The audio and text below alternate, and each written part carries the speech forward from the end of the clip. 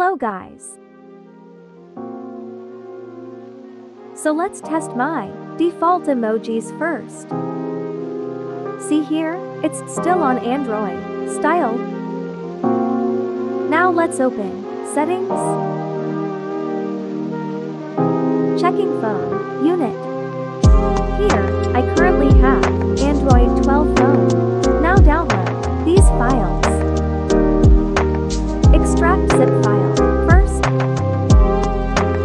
And install this app. File links are on description. Log into your account.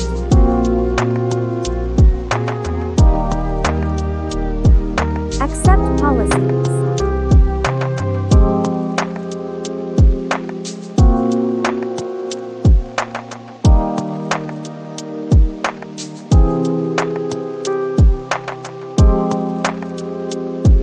To settings. Select emoji type. From local storage.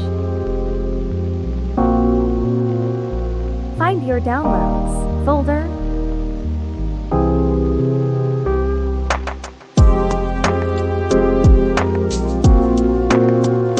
Select the latest iOS emojis font file. Then select Add Story Font. Select all fonts. Accept this.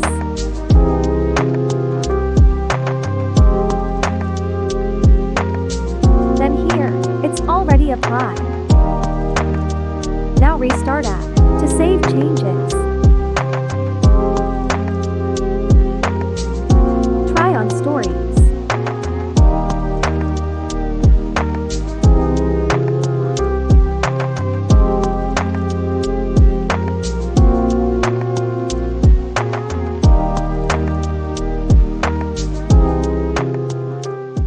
It appears as Android emojis at first. But if released, it's already in iOS style. The iOS emojis are only applicable for Instagram app. iOS emojis.